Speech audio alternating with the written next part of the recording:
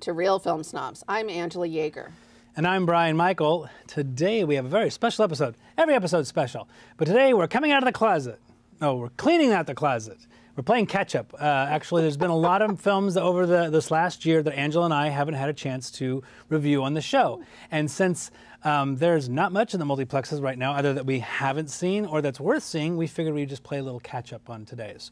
Uh, but as always, if you're watching us on YouTube, please go ahead and hit that subscribe button and then hit the little bell button. It'll give you notifications and it'll also make the Oscars that much longer because us as film snubs love to watch the Oscars and it's for us, not everybody else. Yes, good point. Uh, that's Here, a clip you saw at the top of the show is for a Cold War. Uh, this is uh, by director, hold on, Powell Palo- Palowiski. Palo, oh, I had it earlier. Paul Lekowski, excuse me, uh, who uh, is famous on our show anyway for uh, directing a, a film called Ida a few years back that I think made both our top tens lists. I know it made mine. Yeah, made by both of ours. And uh, this is a, his a new offering. It's a uh, music director who falls in love with his singer and tries to convince her to leave communist Poland for France. Uh, now, of course, you're going to know about this film because it's the other film that's uh, nominated for an Academy Award uh, for Best Director that's in black and white. So there's the two black and white movies. One's in Mexico, this one's in Poland.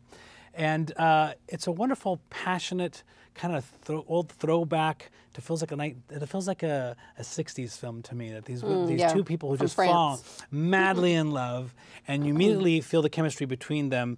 Uh, Joanna Kulig and Tomasz Kot, um, who are absolutely fantastic. Now, the great thing about black and white, what that does is it really shows the characters, characteristics of your face. If there's any type of wrinkle, if there's any type of mm-hmm. mole, if there's any type of certainly expressions are really pop on the screen in this, especially several times when they cut to just the audience and it's just a sea of faces and we're just focusing on one of them because they, they're the ones who mm-hmm. stick out because of the reaction they're giving.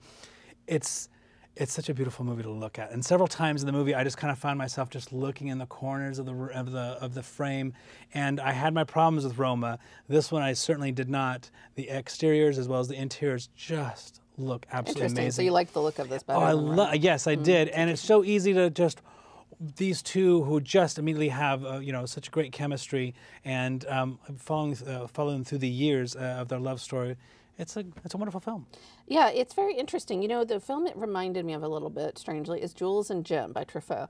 In that, you know, is about it. Ha- it has these. Um, the editing of it is very interesting. It's almost like little vignettes of their relationship over the years, where it cuts in and out, and you're not always sure exactly how much time has passed. And then they come together again, and it, and it reminded me of that a little bit. Um, and you can see, yes, because of the gorgeous look of it, why he was acknowledged as director. Um, Yeah. Although that would be actually more cinematography than the directing, but you know, it, it does have a beautiful look and much more traditional black and white than Roma. The length is very interesting for a movie that, in a way, has an epic scope. Yes. Um, going from right after World War II, um, when it became communist Poland, up until the 60s, and uh, the movie I think clocks in at about 80 minutes. If I'm 87, something like that. in the 80 range, Yeah. so very short, under 90. The minutes. Angela, the Angela range is what I call it. Yeah, Angela well, likes almost it like 90, it was 90 almost minutes. like a film noir, which I think would be great, but it's not a film noir, even though it has a little bit of a look of a film noir. But it is very much a you know a romance in the tradition of a Casablanca or something about this, you know, these couple coming together, falling out, falling back in love. So I did really enjoy this film. I, I you know, to me, it's not a masterpiece. So it won't make my top ten. It- partially, it's just comparisons. His last film was so amazing, Yeah. and it didn't move me as much emotionally. And maybe it was something to do with the length. I think part of it was you know their relationship at times was a little frustrating. It's a little hard to watch people that are in sort of these kind of toxic type relationships. Like, you know, when uh, you know at one point she makes a decision to do something that just seems kind of dumb and and it kind of makes everything have more of a tragic Yeah, arc sure, sure. without giving it too much away. And i just that was really frustrating to watch because i thought why would you do that? And then of course we know he's going to follow her and then that leads to his arc and then being tragic and that's always hard to watch. So uh, but i thoroughly enjoyed it. I can Yeah. definitely recommend it. Are you giving it four stars? No, I'll give it three and a half. three and a half for me as well. yeah. It's, yeah. it's a wonderful film. I- You know, I just can't get, uh, you know, seeing black and white on the big screen. Certainly, it's going to be streaming soon, as everything will be. But um, seeing on the big screen really is the is the way to see this, especially with black and white. We just had two amazing films this last year in black and white. It's it's such an amazing. It's it's it's and this wonderful. is also nominated for Best Foreign Language Film, and that is one of the strong categories this year. I would say Roma, um, Shoplifters. Um, in any other year, that one of those films would have been easily just it would have Oh, been a- one. Yeah. yeah. it would just been like oh that's obvious. But now Yep. you have you know Cold War, and we haven't reviewed it on the show yet, but Capernaum, which I was fortunate to get to see, which is also amazing. So I mean the the the uh, the nominees in this category are particularly strong. I but we all know who's going to win that one. well, I would think it would be It's Roma. It's going to be Roma. Yeah. Yeah, that'll be the one that's going to win that. We, we've already covered that in a previous episode, but yeah. So uh, yeah, so there's one we can highly recommend. I think I'm going to find that a lot in this episode. Okay, so now we're going to look at a clip for our next review, which is for Adam McKay's Vice. Let's take a look.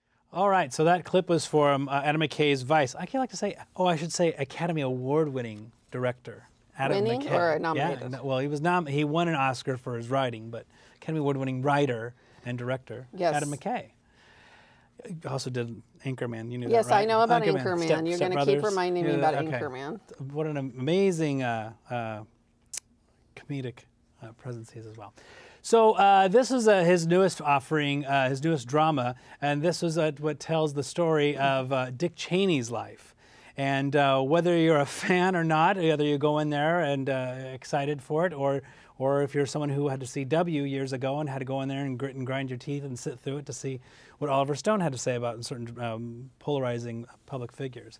Uh, this one actually tells a very interesting gambit. Doesn't tell him as usually they would show as a child or a really young child. I thought this kind of really started when he was a younger man, um, working and meeting his wife, and kind of going from there. And her being the catalyst. There's a conversation that she sits down. Amy Adams' best best and unfortunately the only best scene in this movie she is not given enough. It's the only crime this crime of this movie is that amy adams is not given enough because she Very can carry a lot more weight. yeah. but when she sits and tells him you got to straighten up or i'm going to find somebody else because i can i really enjoyed that and he kind of turns his life life around in a way to become a, Almost kind of makes you wish you just stayed as a drunkie a little bit. oh boy. Well, you know, it's fascinating because we, you know, we lived through this era, and so we know, of, you know, the history, outcome yes. and, and it's recent history. But there were still some things that kind of went, oh, is that how that happened? Oh, is that what happened? Wow, Really? that's fascinating, interesting. I didn't know enough about uh, enough about some of the stuff, the behind the scenes that he had done. I knew that he was pulling a lot of strings. There was a lot of strings there. yeah. And along the way, we get to see Rumsfeld, who uh, I got to say I was really excited to see because Steve Carell plays him, He's and great. he is fantastic. We talked about in the Oscar episode. You said he should have been nominated, and he Well, is. if someone he was going to be from good this, this movie, I this actually yeah. thought he was one I of my Sam favorite Rockwell was parts. good, but I don't think it was kind of strange Well, for him to get a movie that's sort Steve of been Carell. tagged as a comedy slash drama, like The Yeah. Big Short, Adam McKay's previous movie, and it's done in that vein. Although I don't think it's as funny as The Big Short. Um, you know, I think Carell finds that spirit. You know, Rumsfeld. He, you know, on one hand, yes, he's problematic character and he does some horrible things, but he's also very funny, especially in the uh, his interactions with Cheney because he's so different from him. Um, Yeah. he's like the opposite, you know, Ch- Cheney's stoic and very matter of fact, and Rumsfeld's sort of like this, you know, heckler, old boys club type guy. So the stuff that I thought was most interesting because that was the part I didn't know. Uh, most of the recent history stuff, you know, for political wonks like myself, was not news. The stuff from the Ford administration was actually interesting to me because I didn't know as much about Yeah. Cheney's previous political life, so that was very interesting. Um, but I did feel like this is one of the, you know, this is not a great film, um, and I think it's actually weaker than The Big Short um, in terms of. And they even admitted up front at the very beginning of the movie, they say Cheney is one of the most unknown modern political figures. He's kept everything about his life extremely secretive because of that, it's very hard to make a movie around someone that you really don't know what their internal motivations are. You don't know much about their emotional frame of reference. Bale, I think, is incredible. I think Yeah, he's but very I mean, do you want to have but- one of those things where they show the child and his father hits him, and that's what No, motivates the rest of his life? because I mean, of we've seen that we movie a hundred times. But even the switch that he makes in the film that you talk about, other than his wife urging him to become someone, we don't know what kind of gets him from No, good old boy drinking beer and getting DUIs to yeah, but then when he sits, political but when he sits there and hears Rumsfeld speak, and they say, "What party are you going to meet with?" He goes, "Whatever that guy is." And that was a huge turning point and think about it in our And you're really thinking that he was at the White House and he didn't even know what party Oh, he you was know, it's fascinating to see it that way, and I Yeah. like that. That's that's that's interesting storytelling. I enjoyed this film. Yeah, I just felt like for the cast, especially Amy Adams is underutilized some. Rockwell didn't do much for me in the part of W. Um, again, Christian Bale is phenomenal as Cheney, and he looks like him. And as much as you want to see, you know, two hours of Cheney on screen, I mean, you really feel like he embodies certain elements of him, especially the way he sits in a room and doesn't say anything and is just watching what everyone else is saying Mm-hmm. and he's and the wheels are turning the whole time i think Bale re- is really brilliant in those scenes in particular so i can recommend it it's just not a four star film Yeah. Oh me. no, no, is a three-star film for me. yes I, I yeah, liked it. three stars as Yeah. well so Yeah. so we agree again Okay, yeah that's not a crime. It's all right. people want to see us fight and slug it out know. Well, like we'll give it a minute here. It's old coming up. days. okay oh you think so Yeah. Okay. So we'll move on to our next film, which is Private Life. And this is about a couple uh, whose relationship is strained while they undergo multiple fertility treatments over a number of years um, to try and conceive. The film stars Paul Giamatti and Kathryn Hahn in just, you know, what a, a brilliant coup of casting. Uh, the film is by Tamara Jenkins a wonderful director who only seems to make one movie like every 10 years and then each time she makes it it's fantastic and i don't know if it's as much because she's a female director and can't get work or if she just chooses to only work once every 10 years her previous films included savages with laura linney and philip seymour hoffman Which fantastic feels like forever ago. yeah, and previous that, Slums of Beverly Hills, which is one of the films Yeah. that helped kind of launch Natasha Lyonne, who's of course getting big, you know, right again having a resurgence um, with her TV series, and both of those are great films. Um, there's also supporting uh, cast Molly Shannon in a dramatic role as um, the a mother named Cynthia and John Carroll as Charlie. And um, in a, a young actress I didn't know at all who plays their sort of niece, step niece, um, Sadie is Kayli Carter, who I was not familiar with. And I mentioned you, I thought she looked a little bit like a young Natasha Lyonne with the red hair and, and just the spunkiness, and she's fantastic. You know, as someone who, for this subject matter, this is not my favorite. You know, this is, I mean, I think Yeah. it's, I give the This is a sitcom. This is the this is a sitcom or a comedy uh, uh, plot. plot. Sure, But it's not done like that. It's No. intelligent. yes. This is a movie about smart, artistic people who are undergoing some things that are not always likable. You're not always expected to like them. And you're not always able. The thing I thought was interesting is I don't think the director's necessarily saying we have to sympathize with them all the time. Because I think they go a little too far. Oh, And I think the director is Well, the amount of money just- they were throwing at some one point in time, we were like, Oof, wow, you can afford doing something like that, and, And having really to borrow can't, from a but they're friend. just yeah. they're really stretching it. But they become obsessed with this thing that they feel like they have to achieve now, and they're going to any lengths to achieve Yes. it. This is the you know, and, and, my favorite filmmaker is Woody Allen, give or take, however you feel about him now. But as a filmmaker, he's one of my favorites, and this is probably the best Woody Allen movie esque movie I have seen in a very long time, and I mean that as in a, in a great way. Um, this is such a thoroughly enjoyable film in terms of just having smart people. Yes, they've got books stacked in the window, which really bothered me. I was going to ruin those books, but I always like films when they have the little they have their New York apartment. And that's what they have on the walls. But these are very intelligent people who are very caught in a very you know an emotional web. It's they get so focused on that. Even at one point in time, they were like, you know, when was the last time we were intimate?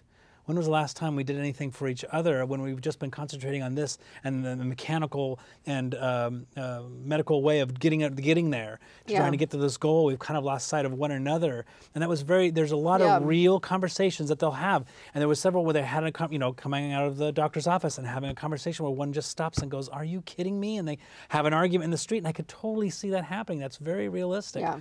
And that's nice to see.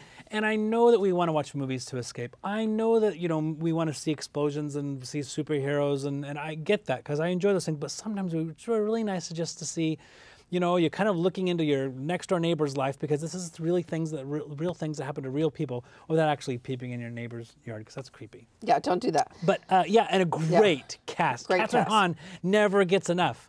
Never, She ever, finally ever. gets a starring role, though. Oh, and fantastic! so and more good. Molly Shannon. If I had a criticism of this film, it was like you needed more Molly Shannon. Come Yeah. on, more of that because she She's really rocks. Well, and at first I thought, oh, she's like the unlikable bomb. But as she went on, you thought, well, you know, she's got a different perspective. She's protecting her She's got a daughter, point. and her daughter's getting involved, and she's kind of seeing these Yep. people going down this road and thinking they're going too far. Exactly. And you know, it's another perspective. And again, as someone who can't relate with this this theme, could care less about it myself, not interested in Oh, sure. You, you, we've made Yeah. decisions in our life. Yeah, you and I we're both. good. But but I could still, but I still was fascinated Yeah. and there with them every step of the way. Oh, so Oh, I'm yeah. giving this four stars. Yeah. You are too? Or three and a half?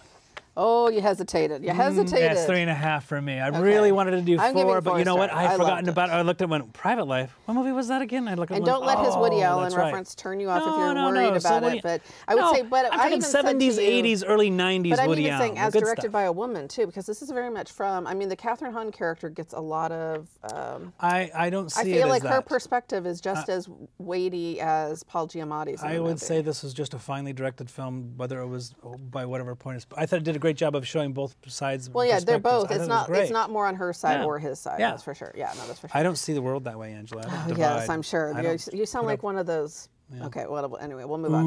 Minding the Gap is our next film, and uh, this is a documentary that follows three young men who, with a shared love of skateboarding, who must confront shared trauma as they grow up.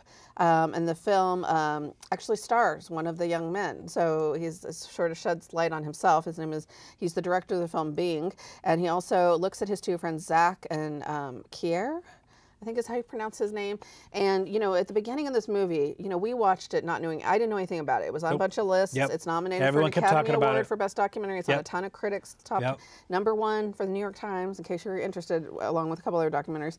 Um, so you know, we are interested, and it first starts, and I thought, oh, it's just a skateboarding movie. Well, we've seen these before. We've seen skateboarding documentaries, and and it slowly transpires into some a totally different movie. Yes. And that I was blown away by, and um, and becomes very much a look at masculinity in the modern world, young men and how they become men in our society, what happens to young men, and the way that they're not allowed to express emotions, and how that traumatizes them. And he gets into all these sort of things, and he has access to his friends because they're his friends that a regular outside person wouldn't have, which is amazing. Well, it's, yeah, you really feel as though we kind of just fumbled into this because he's just, you know, just videotaping his friends, his a bunch of skateboarding, and they're having a lot of fun. And then you hit your 20s and you become grown ups, or you're trying to grapple with becoming a grown up, or trying to decide how you're going to be as a grown up. And then certain paths are chosen for you, and everyone kind of splinters and goes their separate ways or, or in directions. And it's fascinating. Um, this was this is a 2019 is coming up. We're- This is another Up series is coming up by the end of the year, and I'm stoked about this. And this is another film that I kept thinking about. It was like, gosh, I want to see these guys again. Yeah. I really want to see these, whether it's five years, whether it's seven years, whether it's 10, I want to come back and see where these guys are at because um, he does such a great job of really just pulling, because they are his friends. So that when they're looking at the camera, they're, you know, it's, you kind of feel included in that. They're talking to him, Yeah, but they feel like like you're talking to you, you're in there with yeah. them. And so you, the stakes are really high because you feel like you've bought into this. Now, originally when we watched this movie, and I had texted you a couple times about it, I was like, gosh, you know, I love this film, but I felt as a film it just didn't feel quite complete, and it's not fair to it because it, it isn't. Because, like I said, their, their lives continue on. So I, I I've been thinking about it, and I am going to give it four stars because I've thought about this movie over and over. And anyone who will listen, especially my poor coworkers who don't watch the show, um, you got a Hulu? There's this documentary you got to watch. This about these kids with skateboarding. No, hold on, wait, wait, wait. But it's about them as they grow up, and Yeah. it's how they go on, da da da da. And it's fascinating. And you know, all the podcasts and reviews I listen to, everyone's just they go on and they come obsessed about this film. And, and yeah, it's really Yeah, easy I to would, do. It's a I was shocked it was nominated film. for an Oscar for Best Documentary. I would be happy Wow! if it won. If it wins, yeah, it's already won by getting nominated. It's just I know that people it's his, see it. It's his first film, and here he, he takes this footage, but it's it, it's really worthy. I think Does because I have thought about it a lot as well, Yes. like you have. So definitely a four star film. They got to follow up though. Yeah, it would I be interesting. really gotta see what see happens. That's just of course, they would be more self conscious going into it next time. Well, yeah. they'll get that. Yeah. Are you excited about the Up? I'm, I'm really excited Yeah, about the Up series. We're gonna excited. get another one. Okay, so we'll move on to our next movie, which is A Night Comes On. Uh, this is a, a film by Jordana Spiro, Spiro or Spiro. And uh, this is about a young woman who gets out of a juvenile detention on the eve of her 18th birthday, and uh, she seeks revenge on her father. I think I can say why she's revenge because it happened. They explain it early in the movie. I don't want to spoil it, do I? Uh, I wouldn't spoil- it. I wouldn't spoil So let's just say she's going for revenge on her father, and um, how- I, this film just kind of came out of left field. I really enjoyed this film. It ended up uh, being on some lists and getting well reviews, so a good review. So we, we took a look at it, and um, I actually found it on streaming because it's been out long enough. And uh, her name is uh, uh, the Dominique character's Fishback. name. Well, it's Oh, the Angel is character. her character's name, played by Dominique Fishback, who is fantastic. Great actress. And then her younger sister, who ends up tagging along with her from this day, because they decide to go out on a day and, and kind of spend the day together, and she's Mm-hmm. also trying to find out where her father lives. Her younger sister, played by Tatum Marilyn Hall, is amazing. Right, both great this, yo- Oh, this young lady was Yeah. born for the screen. She is absolutely fantastic.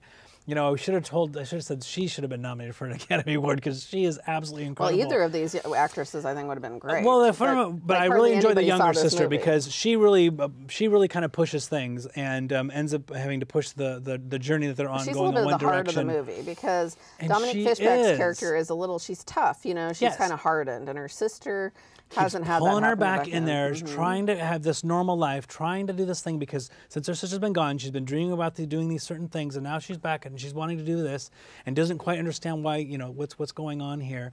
And there are some amazing, you know, beautiful scenes. There's some frustrating scenes. There's some very scary scenes. That beach scene is you think about Roma being on the beach. Here's a beach scene also Yeah. for you that Right. just I stopped. My heart just leapt out of my chest, and it was just like, what kind of movie is this going to be? Because something happens. You're thinking, wait, wait, are we going to go for tragedy? Is this what's really going to happen here? Is it just going to be something for fun? Yeah. What's going on? And it was like, run, run, Too. run. There's a lot of quiet. Yes. You know, so it sounds like we're talking about, oh, she's seeking revenge. And so when I read that description, I thought, oh, it's a revenge thriller. No, it's not. So if you go in thinking that, you got to be in No, a it's not like. Revenge, the movie Revenge. No, it's not like that at all. all. No, no, it's very, it's very. Um, I don't want to say slow going because that will make people think It's subdued, and It's it's subdued. just That's she. a nice word. She's somebody who certainly has been plotting. She knows exactly what she's going to do. She knows how she's going to get things done, and she is patient, but not too patient because she wants to. She's going to get there, and she wants to settle things, um, which I thought was very interesting. And and the end of her journey was was fascinating as well.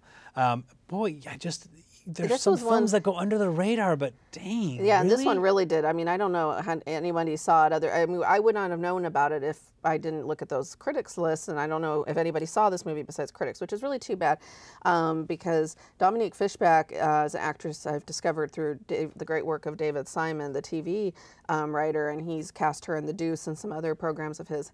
And so when she came on in this film, I thought, oh, someone gave her a starring role in a film, and because she's just a really interesting actress and Yeah. really good. And as you said, the the young woman that plays her sister is also fantastic. And it's really the whole movie's built around them. I mean, there isn't much more to it in terms of other characters. There's few, you know, there's like a sleazy guy that comes in. There's a few minor characters, but the film is really focused on these two sisters, which I really like. And this is a directorial debut, which is amazing to me. That this Pretty is the- uh, Jordana Spiro's first film. I mean, she did a couple shorts, but first feature length film, and very impressive, I think. So I'm giving it three and a half stars. Yeah, so am I. I, I really enjoyed this one, and it, it's it's something you really got to look for and find. What I watched it on streaming, I caught it on streaming. Yeah, depending on what kind of subscriptions you have, you can stream it for free. So, uh, let's take a look. So we both, well, yeah, this is the that's a Brian episode. A lot of three and a half stars there. Uh, we both can recommend Cold War. We both can recommend Vice. Uh, we both uh, recommend Private Life. You I highly gave it four recommend stars, so yeah. We both highly recommend Minding the Gap. Four stars Um, as well for me. Fantastic I think as one well of the best for me. of the year. Yep. Uh, hopefully, it'll make my top ten. I think it should. And then uh, night comes on. As always, uh, you can. Uh, what do we do? We can uh, follow us on Facebook, or you like us on Twitter. Is it the other way around? Ooh, that makes me sound old. Subscribe to us on YouTube. You can listen to us on KMUZ. You can watch us here on CCTV in Salem, as well as Silverton and uh, Colorado. Uh, Colorado, Corvallis. I can't uh, read my own handwriting. That would be Plus, I'm cool making though a someone out wants to to sponsor us what I was in thinking. Colorado. Uh, then, of course, we have our amazing sponsors, our wonderful crew, my fantastic co host, and you, the viewer at home. Thank you for watching. And as always, have a great day and great movies.